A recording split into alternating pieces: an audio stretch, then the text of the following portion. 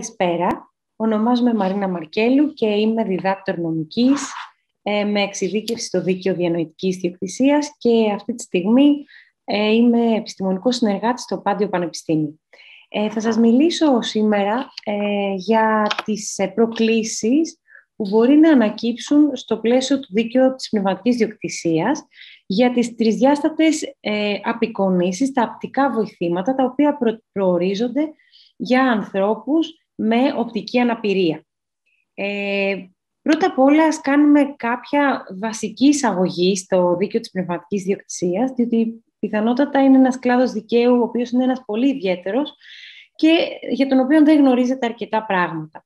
Ε, τι είναι λοιπόν το δίκαιο της πνευματικής διοκτησίας; Ε, είναι αυτός ο κλάδος δικαίου που προστατεύει τα έργα λόγου, τέχνης και επιστήμης και είναι το πιο πετυχημένο μέχρι, μέχρι σήμερα σύστημα όπου αφενός ο δημιουργός ωφελείται από την εργασία και τη δημιουργικότητά του και αφετέρου προωθεί την ανθρώπινη γνώση, την επιστήμη και τις τέχνες. Τι περιλαμβάνει το copyright; Το δίκαιο της πνευματικής διοκτησίας περιλαμβάνει δύο βασικά δικαιώματα.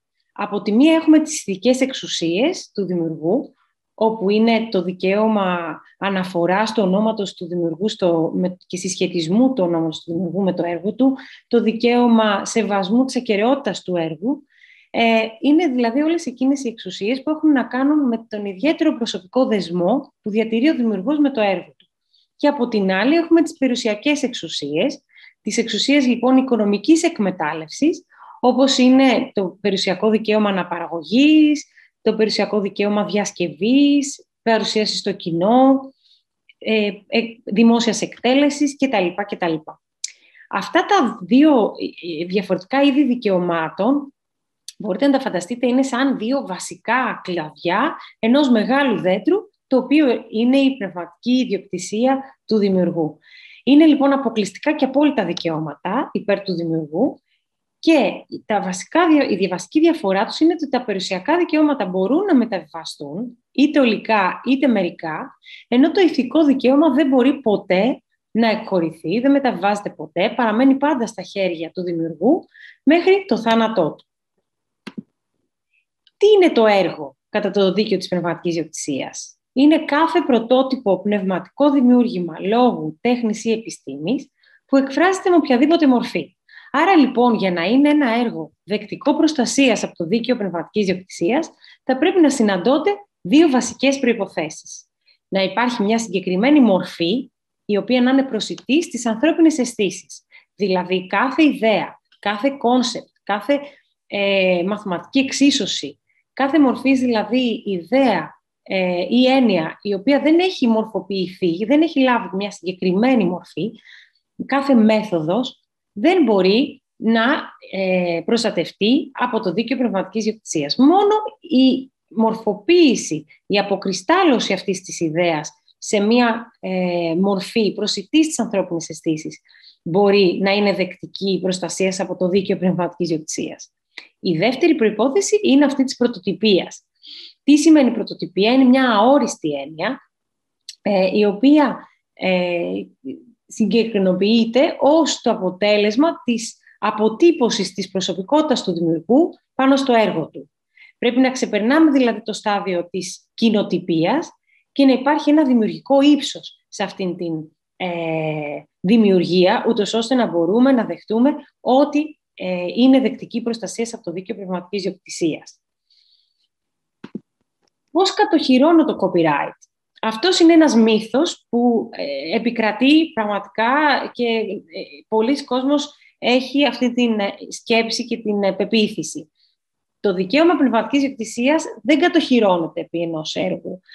Τα δικαιώματα της πνευματικής διοκτησίας γεννώνται αυτομάτως, αυτοδικαίως δηλαδή, με τη δημιουργία του έργου. Δεν υπάρχουν διατυπώσεις, δεν χρειάζεται δηλαδή κάποια ιδιαίτερη κατοχύρωση. Αυτό που μπορούμε να κάνουμε για να έχουμε μια ισχύ αποδεικτική, ούτως ώστε να αποδεικνύουμε την, το πότε έχει δημιουργηθεί ένα έργο ε, και να έχουμε μια μαρτυρία, μια απόδειξη, είναι αυτά τα κλασικά μέσα που έχουμε, τα παλιά, τα παραδοσιακά, που μπορούμε να στείλουμε στον εαυτό μας μια συστημένη επιστολή, βάζοντας μέσα δηλαδή ε, ένα έγγραφο ή ένα CD ή ένα φλασάκι που να περιέχει το έργο αυτό που θέλουμε εμείς να αποδεικνύουμε τη χρονολογία της ύπαρξής του και να μην το ε, ανοίγουμε ποτέ αυτή την επιστολή. Έτσι θα υπάρχει μια βεβαία χρονολογία από το ταχυδρομείο και όταν χρειαστεί να αποδείξουμε ότι εμείς είμαστε οι δημιουργοί που τότε είχαμε δημιουργήσει αυτό το έργο, το προσοκομίζουμε στο δικαστήριο και έτσι έχουμε αυτή την απόδειξη χρονολογίας. Άλλες υπηρεσίες τέτοιου τύπου είναι και οι υπηρεσίες χρονοσήμανσης που προσφέρει και η ελληνική, το Ελληνικό Γραφείο Πνευματικής Διοκτησίας, ο Οργανισμός Πνευματικής Διοκτησίας, θα το βρείτε δηλαδή στην ιστοσελίδα του, η υπηρεσία IDEPO κτλ.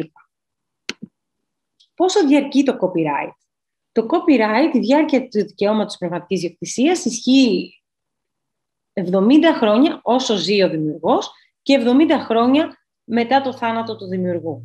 Για τα οπτικοακουστικά έργα και για τα έργα συνεργασίας, η διάρκεια προστασίας ενός έργου λύγει μετά το θάνατο του τελευταίου επιζώντος από τα πρόσωπα που κατά νόμο συμβάλλουν στη δημιουργία του έργου. Ποιος είναι ο αρχικός δικαιούχος του copyright? Βασική αρχή στο ελληνικό δίκαιο και σε πάρα πολλά δίκαια του υπηρετικού δικαίου είναι ο δημιουργός, δηλαδή το φυσικό πρόσωπο ενός έργου, είναι και ο αρχικός δικαιούχος της πνευματικής διοκτησίας επί του έργου αυτού. Κάποιες εξαιρέσεις προβλέπονται τόσο για τον μισθωτό προγραμματιστή, όσο και για τον μισθωτό δημιουργό, τις οποίες μπορείτε να βρείτε στον οικείο νόμο. Ο νόμος της περί πνευματικής διοκτησίας στην Ελλάδα είναι ο νόμος 2121 του 1993. Τι συμβαίνει όταν παραγγέλνω ένα έργο; Παραδείγματος χάρη, κάποιος παραγγέλνει ένα φωτογραφικό έργο ή ένα εικαστικό έργο. Τι γίνεται εκεί; Αυτό που παραγγέλνει είναι τον υλικό φορέα και αγοράζει. Δεν αγοράζει, ούτε ε, γίνεται δικαιούχος αυτομάτως των πνευματικών δικαιωμάτων επί του έργου αυτού.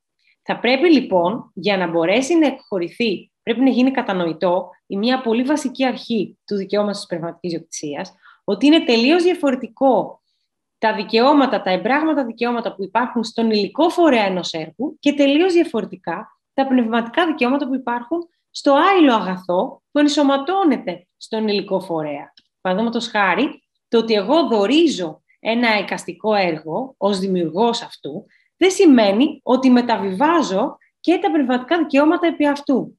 Άρα πρέπει να, υπάρχει, να είναι πολύ κατανοητό ότι κάθε φορά που υπάρχει μια δωρεά ή μια μεταβίβαση, μια αγορά κάποιου εικαστικού έργου, ε, ε, μεταβιβάζεται και πωλείται μόνο το πράγμα, ο υλικός φορέας.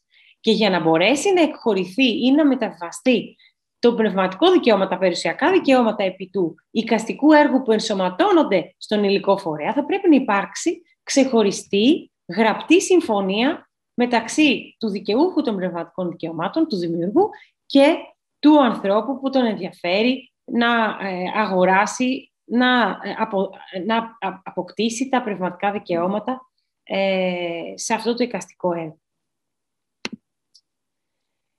Πότε μπορώ να χρησιμοποιώ ελεύθερα κάποιο δημιουργικό περιεχόμενο χωρίς να ζητώ άδεια; Θα πρέπει να, να, να, να προβαίνουμε σε έναν συγκεκριμένο έλεγχο.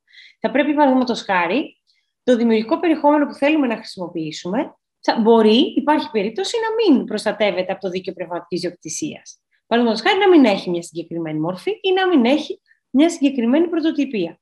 Αν έχω δηλαδή μια ιδέα, ένα concept, ένα TV format, το οποίο δεν είναι πολύ συγκεκριμένο και έχει μια πολύ εξειδικευμένη μορφή, τότε ή το στυλ, ενώ το καλλιτεχνικό στυλ, αυτά όλα είναι ελεύθερα και μπορώ ανα πάσα στιγμή να εμπνευστώ και να δημιουργήσω το δικό μου έργο ε, εμπνεόμενος από αυτό το στυλ ή από αυτήν την ιδέα.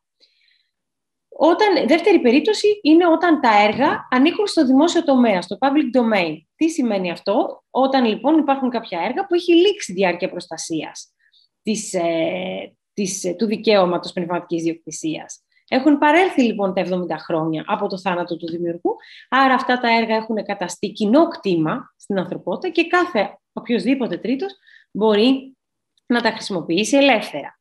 Προσοχή, αν υπάρχει σωρευτική εφαρμογή άλλων νόμων και άλλων δικαίων, παραδείγματος χάρη του νόμου περί πολιτιστικής κληρονομιάς, έτσι, ή του νόμου περί ε, ύπαρξης ε, και προστασίας των βάσεων δεδομένων.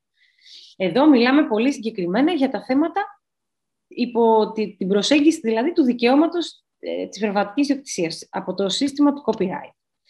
Μια τρίτη περίπτωση, κατά την οποία μπορούμε να χρησιμοποιήσουμε ελεύθερα ένα δημιουργικό περιεχόμενο ή ένα έργο, είναι όταν υπάρχουν και προβλέπονται εσωτερικά μέσα στον ίδιο τον νόμο της πνευματικής διοκτησίας κάποιοι νομικοί νόμιμοι περιορισμοί ή εξαιρέσεις του δικαιώματος της πνευματικής διοκτησίας.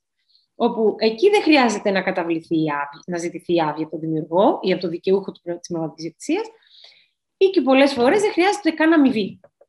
Αυτά τα άρθρα είναι πολύ συγκεκριμένα, είναι πολύ συγκεκριμένες περιπτώσεις, οι οποίες προβλέπονται για πολλούς λόγους, είτε για πρακτικούς λόγους, είτε για λόγους δημοσίου συμφέροντος και ωφέλειας. Ε, στον ελληνικό νόμο, τον 2121 του 1993, προβλέπονται μέσα στο άρθρο 18, στα άρθρα, από τα άρθρα 18 και 28 γάμα, έως 28 γάμα, ε, και μιλάμε για την αναπαραγωγή για ιδιωτική χρήση, παράθεση αποσπασμάτων, για διδασκαλία, από βιβλιοθήκες, για σκοπούς δικαστικούς και διοικητικούς, για λόγους ενημέρωσης, για, για τα ορφανά έργα. Ε, κάποιες ε, τέτοιες περιορισμοί υπάρχουν για τους ανθρώπους που έχουν κάποια ειδική αναπηρία, αλλά πρέπει οπωσδήποτε να είμαστε πολύ προσεκτικοί, διότι η ερμηνεία αυτών των διατάξεων είναι πάρα πολύ στενή. Τέλος, μια τέταρτη περίπτωση είναι όταν το έργο διατίθεται με κάποια άδεια ανοιχτού περιεχομένου. Παραδείγματος χάρη μια άδεια Creative Commons. Τότε θα πρέπει να προσέχουμε να διαβάζουμε σωστά τους όρους υπό τους οποίους έχει καταστεί προσβάσιμο αυτό το έργο. Πάμε να δούμε μια πολύ συγκεκριμένη λοιπόν περίπτωση αυτήν των απτικών βοηθημάτων. Τι είναι τα απτικά βοηθήματα; Τα απτικά βοηθήματα είναι απτικές απεικονίσεις κάποιων βασικών στοιχείων ή και τους συνόλου των οικαστικών έργων τέχνης, οι οποίοι δημιουργούνται με διάφορες μεθόδους τρισδιάστατης αναπαραγωγής και προσφέρουν μια εμπειρία επαφής με τα έργα τέχνης στους ανθρώπους με οπτική αναπηρία. Εδώ λοιπόν βλέπουμε ότι υπάρχει σαφώς ε, η έννοια της αναπαραγωγής, άρα το δικαίωμα το περιουσιακό της αναπαραγωγής, το οποίο είναι ένα αποκλειστικό, εντάσσεται στο αποκλειστικό περιουσιακό δικαίωμα του δικαιώματος πνευματικής διοκτησίας, θα πρέπει λοιπόν οπωσδήποτε να προβούμε σε αυτόν τον έλεγχο πριν τη δημιουργία απτικών βοηθημάτων, για να δούμε αν διαθέτει αυτός που επιθυμεί να προβεί σε αυτή τη δημιουργία την απαιτούμενη άδεια χρήσης από το δημιουργό του πρωτότυπου έργου τέχνης, το οποίο θα μετατραπεί σε απτικό βοήθημα. Έτσι λοιπόν θα πρέπει να κάνουμε το αυτόν τον κλασικό έλεγχο που είπαμε πιο πριν, να δούμε κατά πρώτον αν αυτό το έργο τέχνης έχει πέσει στο δημόσιο τομέα, αν έχει παρέλθει διάρκεια προστασίας, ε, αν ε, υπάρχει από την αρχή κάποιο copyright, γιατί υπάρχουν κάποια έργα τέχνης τα οποία μπορεί να μην προστατεύονται από το δίκαιο πνευματικής διοκτησίας. Ε, αν μπορεί αυτό το έργο να είναι προσβάσιμο υπό άδεια Creative Commons και να, έτσι να έχουμε αυτή τη δυνατότητα να το χρησιμοποιήσουμε υπό όρους ή αλλιώς να πρέπει να έχουμε την απαιτούμενη άδεια, να ζητήσουμε δηλαδή την απαιτούμενη άδεια, το licensing από το δημιουργό ε, ή το δικαιούχο των πνευματικών δικαιωμάτων του πρωτότυπου έργου. Και εδώ τίθεται το εξής ερώτημα. Αφού είπαμε ότι υπάρχει, τίθεται στο νόμο περί πνευματικής διοκτησίας, το 21-21-93, υπάρχει μια συγκεκριμένη εξαίρεση περί επιτροπόμενων χρήσεων προς όφελος εντυπωαναπήρων και ατόμων με άλλες αναπηρίες. Πού είναι το πρόβλημα; Θα μπορούσαμε δηλαδή ελεύθερα, βασιζόμενοι σε αυτήν την χρήση, να, σε αυτή την διάταξη και στην εξαίρεση αυτή, να ε, χρησιμοποιούμε ελεύθερα αυτά τα έργα. Δυστυχώς η διατύπωση της εξαίρεσης αυτής είναι αρκετά προβληματική. Δεν είναι σαφής, διότι πρώτον δεν αναφέρει ρητά στον ελληνικό νόμο τα εικαστικά έργα ως έργα για τα οποία επιτρέπεται αυτή η παραγωγή αντιγράφου σε προσβάσιμο μορφότυπο. Αναφέρει δηλαδή μόνο τα βιβλία και κάποιες άλλες μορφές εντύπων, εφημερίδων κτλ. Και σχετικών, λέει το άρθρο, και σχετικών εικονογραφήσεων. Άρα δεν είναι απολύτως σαφές για ποια έργα μιλάμε, για τα οποία επιτρέπεται να καθίσταται προσβάσιμο το μορφότυπο. Επίσης υπάρχει ένα ερμηνευτικό κενό στο αν καλύπτεται και η περιουσιακή εξουσία της διασκευής, της προσαρμογής και όχι μόνο η περιουσιακή εξουσία της απλής αναπαραγωγής. Και τέλος, η χρήση από και η πρόσβαση σε αυτά τα αντίγραφα σε προσβάσιμο μορφότυπο θα πρέπει να γίνεται αποκλειστικά από και προς τον επο, εποφελούμενο. Άρα βλέπετε ότι υπάρχει μια πολύ μεγάλη στενή ερμηνεία αυτής της διάταξης. Τέλος, στην ερώτηση αν μπορεί ένα απτικό βοήθημα να αποτελεί αυτό καθεαυτό έργο τέχνης, η απάντηση είναι ότι φυσικά και θα μπορούσε, εφόσον βέβαια συγκεντρώνει το στοιχείο της πρωτοτυπίας. Δηλαδή, εάν το απτικό βοήθημα είναι αποτέλεσμα της προσωπικής δημιουργικής συμβολής του δημιουργού ή των δημιουργών του, άσχετα από το αν στηρίζεται σε ένα πρωτότυπο προϋπάρχον έργο τέχνης. Σίγουρα, εφόσον είναι, πρόκειται, μιλάμε για ένα παράγωγο έργο, θα πρέπει οπωσδήποτε να έχει λάβει την προηγούμενη συνένεση του δημιουργού του προϋπάρχοντος έργου για τη μετατροπή του σε απτικό βοήθημα. Σας ευχαριστώ πάρα πολύ για την προσοχή σας. Είμαι στη διάθεσή σας για κάθε σχόλιο, κάθε περαιτέρω ε, παρατήρηση ή απορία.